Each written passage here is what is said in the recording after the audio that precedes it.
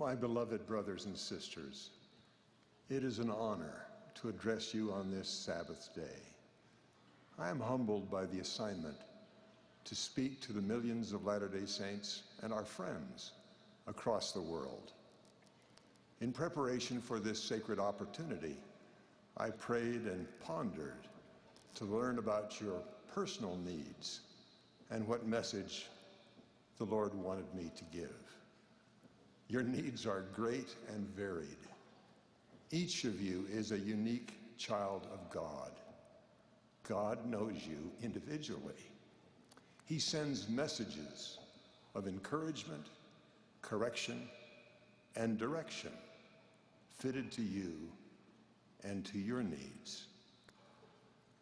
To discover what God would have me add to this conference, I read messages of his servants in Scripture and in past conferences.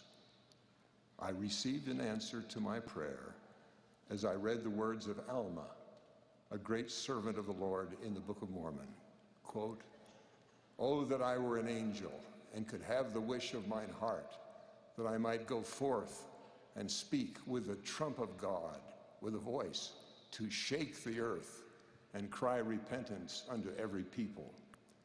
Yea, I would declare unto every soul as with the voice of thunder, repentance and the plan of redemption, that they should repent and come unto God, that there might not be more sorrow upon all the face of the earth. But behold, I am a man, and do sin in my wish, for I ought to be content with the things which the Lord hath allotted unto me. Close quote. And then I found in Alma's reflection the direction for which I had been praying. Quote, For behold, the Lord doth grant unto all nations of their own nation and tongue to teach his word, yea, in wisdom, all that he seeth fit that they should have. Therefore we see that the Lord doth counsel in wisdom according to that which is just and true. Close quote. As I read that message from a servant of God, my errand for today became clear. God sends messages and authorized messengers to his children. I am to build trust in God and his servants enough that we will go out and obey his counsel. He wants that because he loves us and wants our happiness and he knows how a lack of trust in him brings sadness. That lack of trust has brought sorrow to Heavenly Father's children from before the world was created.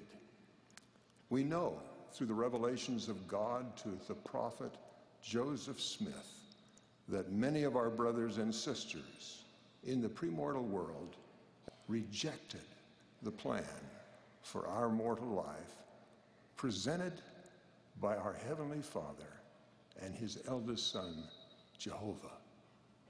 We don't know all the reasons for Lucifer's terrible success in inciting that rebellion. However, one reason is clear. Those who lost the blessing of coming into mortality lacked sufficient trust in God to avoid eternal misery. That sad pattern of lack of trust in God has persisted since the creation. Now, I will be careful in giving examples from the lives of God's children since I do not know all the reasons for their lack of faith enough to trust Him. Many of you have studied the moments of crisis in their lives. Jonah, for instance, not only rejected the message from the Lord to go to Nineveh, but went the other way. Naaman could not trust the direction of the Lord's prophet to bathe in a river, to allow the Lord to heal his leprosy, feeling the simple task was beneath his dignity. The Savior invited Peter to leave the safety of a boat, to walk to him across water. We ache for him and see our own needs for greater trust in God as we hear the account. Quote, and in the fourth watch of the night, Jesus went unto them walking on the sea. And when the disciples saw him walking on the sea, they were troubled, saying, It is a spirit. And they cried out for fear. But straightway Jesus spake unto them, saying, Be of good cheer, it is I, be not afraid. And Peter answered him and said, Lord, if it be thou, bid me come unto thee on the water. And he said, Come. And when Peter was come down out of the ship, he walked on the water to go to Jesus. But when he saw the wind boisterous, he was afraid. And beginning to sink, he cried, saying, Lord, save me. And immediately Jesus stretched forth his hand and caught him and said, O thou of little faith, wherefore didst thou doubt? We can take courage from the fact that Peter came to trust the Lord enough to stay faithful in his service all the way to his martyrdom.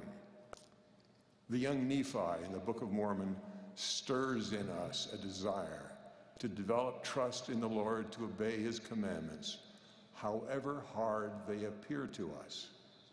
Nephi faced danger and possible death when he said these words of trust that we can and must feel steadily in our hearts. Quote, I will go and do the things which the Lord hath commanded, for I know that the Lord giveth no commandments unto the children of men, save he shall prepare a way for them that they may accomplish the thing which he commandeth them.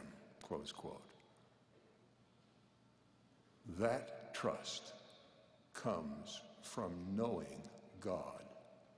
More than any other people on earth, we have, through the glorious events of the restoration of the gospel, felt the peace that the Lord offered his people with the words, Be still and know that I am God.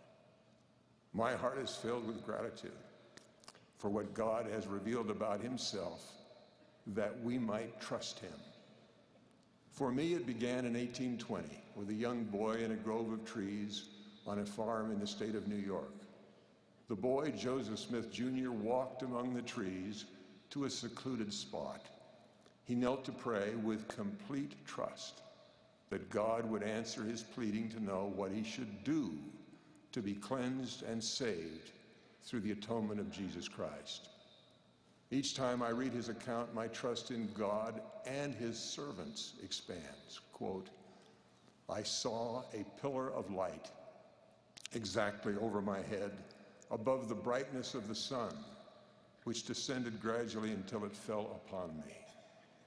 It no sooner appeared than I found myself delivered from the enemy which held me bound. When the light rested upon me, I saw two personages whose brightness and glory defy all description, standing above me in the air. One of them spake unto me, calling me by name, and said, pointing to the other, This is my beloved.